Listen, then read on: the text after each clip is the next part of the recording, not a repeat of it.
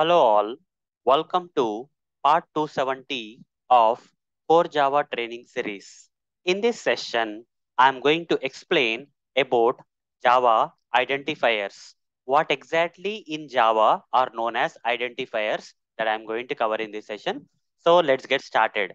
As you can see here, anything that we can name in Java is an identifier.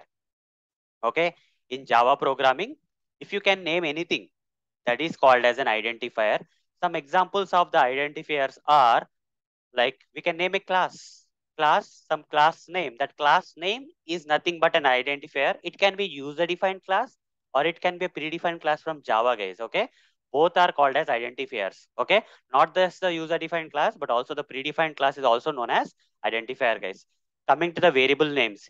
Okay. All the variable names in Java. Okay. The names that you have given to the variables are identifiers. The names that you have given to the methods which contain the programming logic are also identifiers. The names that you give it to the labels, okay? We generally use labels for some certain situations. Okay, I'll give an example for this at the end. Okay, all these are the identifiers, guys. Now let me practically demonstrate these identifiers for you by creating a sample logic, okay, or code by writing a sample code. Here, I'll be writing something known as, uh, I'll create a class known as sample class, guys. Okay, inside the sample class, I'll create a method known as public static void main string of args. Okay, here I'll say int a is equal to 9 system.out.println. I'll print a. So now, how many identifiers are there in this program? You need to identify. Okay, how many identifiers? As I told you, identifiers are nothing but the names given to, okay, names uh, names uh, that are given in Java programming for identifying something. Okay, anything that can be named in Java is an identifier. Okay, like class name, variable name, method name, label name. Here in this case, in this program, how many identifiers are there? You have to understand. So here, anything that you can name, for example, package, package name. This is one identifier, right? So I can add one more thing here. Apart from class name, variable name, method name, label name, in this code, there's a package name also. This is identifier number one. Okay. And coming to this sample, which is a class name. Okay. The sample is a, the name of the class is sample, which is identifier name number two. And public static void or reserved keywords, guys. Here public class are also reserved keywords. Here package is also a reserved keyword. Here test is a identifier because it is having some name to identify. To identify the package, we have given a name. Okay, number one. To identify a class, we have given a name, identifier. Okay, but all this uh, maroon color kind of things that are coming and appearing in uh, this uh, Eclipse IDE are nothing but the reserved keywords. These are not identifiers, they are reserved keywords. Okay, they are reserved by Java. But coming to main, this is the name of the method. Main is the name of the method, guys. That is the third identifier. Okay, so one is this test package. Two is the sample class, name of the class. This is a user defined class, guys. And here main, third one is the name of the method. That is a main method. Okay. Then here string is a predefined class, but still it is an identifier. I told you, right? The class name can be user defined or predefined. Here string is a predefined class and it is also a name. Okay. Even though it is a predefined, it is a name given to something okay? Name given to the class. So string is also a identifier in this case. Here args. Args is an identifier as you can see. We have named the object reference here. Okay? For string array that is args is also an identifier. Five identifiers so far. Here a the name of the variable. Okay? The name of the variable a. Sixth identifier. So total how many identifiers are there in this program? Six identifiers. Name of the package name of the class, name of the method, uh, predefined class name, args, okay, to, uh, which is name of the object reference. Uh, you can say object reference is also an identifier for uh, referring to an object stored in the memory.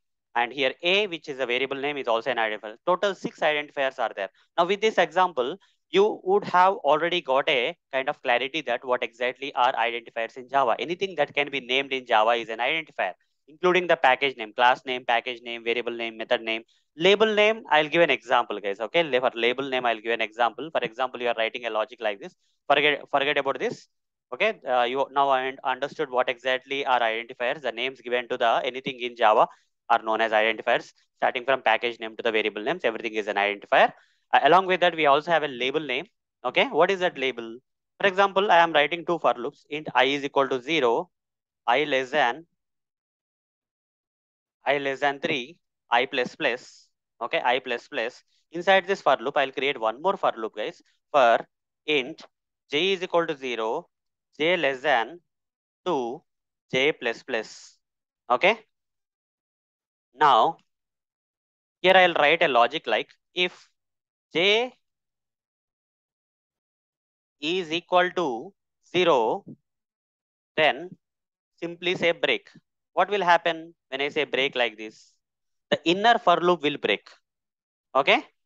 The in this break statement will take you out of the inner for loop. But what if you want to break the break out from the external for loop when j is equal to 0? What do you have to do?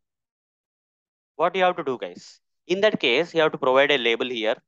Say label just label name you give here guys okay for example uh, a some colon and here break a i'll say. Break a. Okay? Here what is this name of the label guys? Okay? The label format is something like this guys. Okay? So it will break the for external for loop. Now it will break the external for loop. So here i'll say system.out.println i. I is equal to 0 will be printed.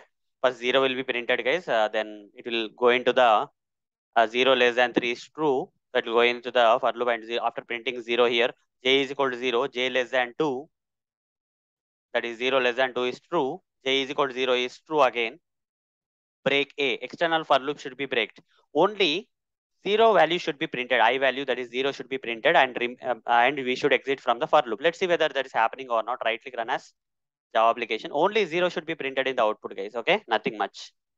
Only zero got printed. After zero got printed, this condition became true and we have break the not the inner for loop but external for loop with the help of the label. This is called as a label, guys. Whatever I highlighted here is a name of the label.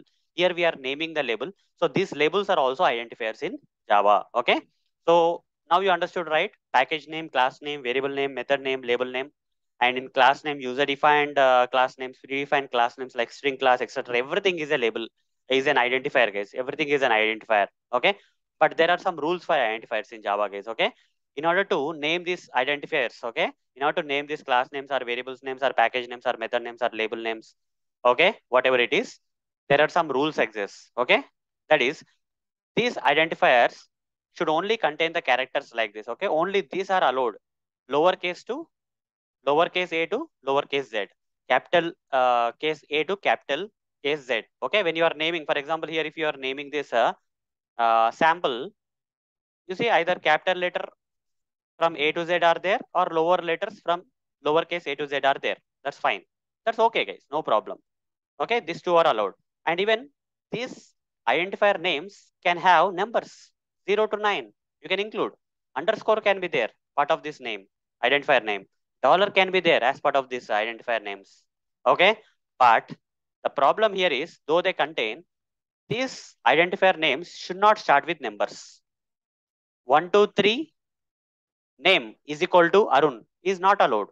Arun one, two, three is equal to sorry, uh, uh, name one, two, three is equal to Arun is allowed. Okay. But identifier name should not start with numbers guys. They can start with underscore they can start with dollar they can start with uh, lowercase alphabets they can start with uh, uppercase alphabets. But identifier names should not start with the numbers. That is another thing. And identifier names are case sensitive.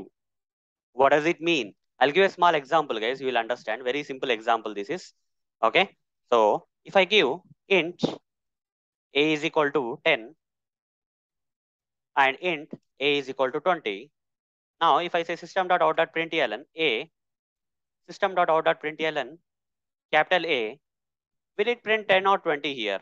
You see, they are case sensitive. That means this variable is different from this variable. When you are printing lowercase a, here 10 will be printed. If you print uppercase a, 20 will be printed.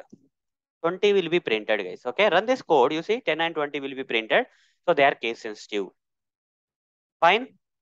And many other rules exist, guys. This much is enough. Okay. I don't want to go behind this. Uh, okay. There is a very big depth. Uh, okay. Uh, number of rules. Other three to four rules exist for Java identifiers, but uh, these rules are the main things because we generally use while naming the classes and variable names, methods, and label. Okay. And a class name has its own uh, naming convention. Variable name has its own naming convention. Naming convention of the class name is uh, upper camel case. The first letter of uh, every word in this identifier name should be uh, in uppercase. Okay.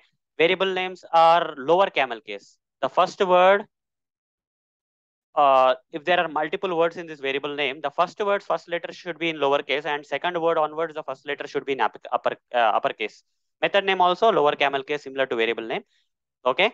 And uh, label name, uh, it can be same thing like this uh, lower camel case. And coming to the package name, completely lowercase, guys. No matter how many words are there, completely lowercase. Okay. So like the naming conventions are there, that is a different topic. But here, I wanted to explain about Java identifiers and I explained. Okay. So that's all for this session, guys. Thank you. Bye.